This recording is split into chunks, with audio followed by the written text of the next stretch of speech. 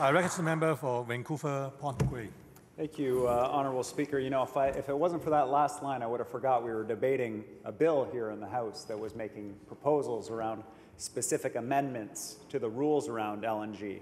I would have thought that we were hearing a two-minute statement about uh, the government's aspirations.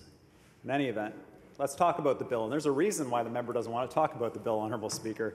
There's a very good reason. Because it's terrible legislation. It's embarrassing legislation for this government.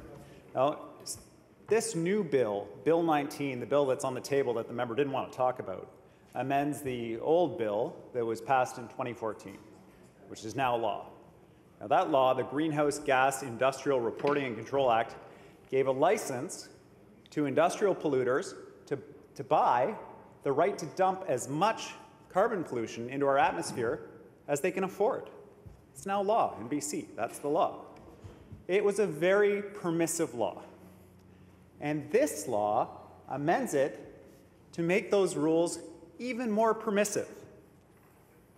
Now, in, in addition to creating, as they did with the old law, a system where the province sells a license to pollute, it exempted all of the emissions from the wellhead all the way to the plant emissions associated with the extraction of the gas, the flaring of the gas at the well, fugitive emissions, venting of the gas, leaks from the pipelines, none of those were counted under the old bill.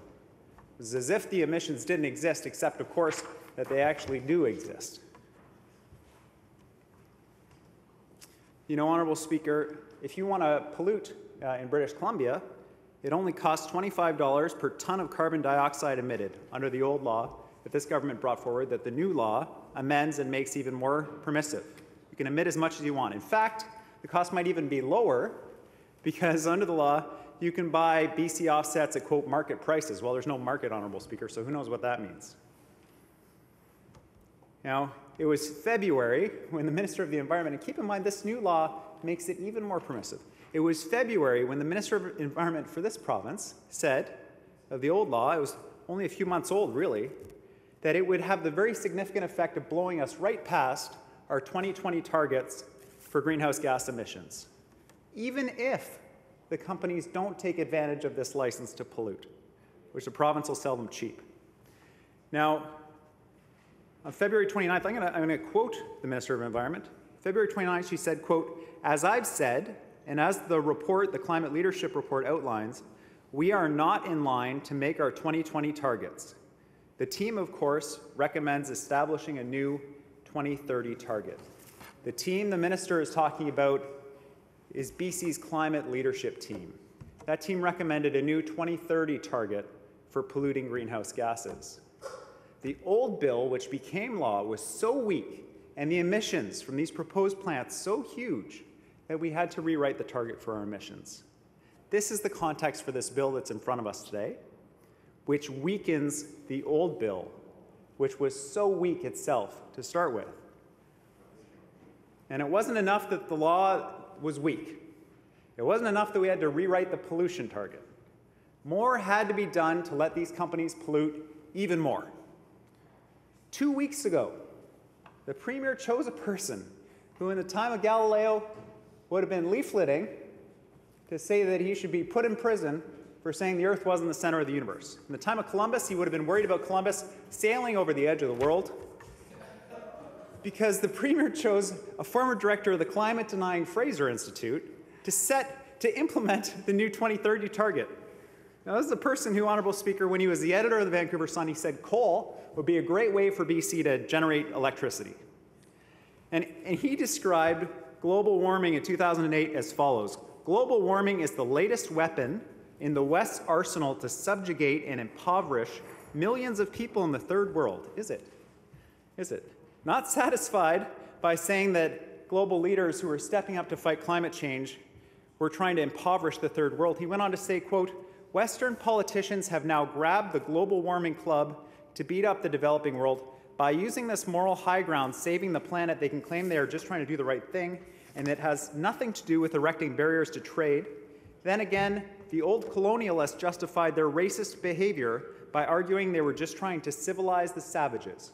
So, after comparing leaders taking action on climate change to racists after recommending dirty coal power for electricity in British Columbia, of all places, Honourable Speaker. Mr. Mihlar was appointed the head of BC's Oil and Strategic Initiatives Division, responsible for seeing oil development in BC. And now, where is he? He's the leader of BC's climate action team. Well, congratulations to him, but what about the rest of us? Uh, Premier put a man who thinks we should burn coal for energy in charge of her climate action team on top of a bill that sells the right to pollute as much as these companies want. Astounding. We can see how this will turn out, how it's been designed to turn out. And now we get this bill, Honorable Speaker. That is the context for this bill in front of us in the legislature. At least under the old law, the government could argue that polluters had to buy a license to dump as many greenhouse gases as they wanted into the atmosphere in BC. $25 a ton or cheaper if it's market prices. Now, under this new bill, you don't even have to buy the right to pollute anymore.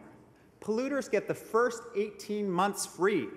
Unlimited pollution for 18 months. It's like a desperate cell phone company, Honorable Speaker, but it's not. It's our government. But they certainly are desperate. They've already offered super deep discounts on the royalties. We're doing a royalty giveaway, Honorable Speaker. Hey, says this government, hold on. It's worth it if there's at least one LNG plant to talk about during the election in May 2017. Give away anything. Dump as much pollution as you want into our atmosphere. Just build one plant. Someone, anyone, please. Please.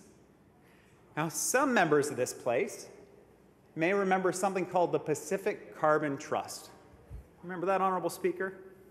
Now, under that debacle, money was transferred from hospitals and schools to oil and gas companies, supposedly in a bid to make government carbon neutral. Now, the schools and hospitals, they could have spent the money putting in insulation, replacing their windows, doing desperately needed retrofits on their own facilities to reduce their emissions, but instead, the government said take the money that's supposed to be spent on students, on the sick, and send it to Encana, a highly profitable gas company. Now, the scam was called a scam by the Auditor General, as it should have been, and the whole thing collapsed on itself in a scandalous outrage. As it should have. Well, here we are in this bill, Honorable Speaker. If that wasn't enough, with the return of the Pacific Carbon Trust, Part 2.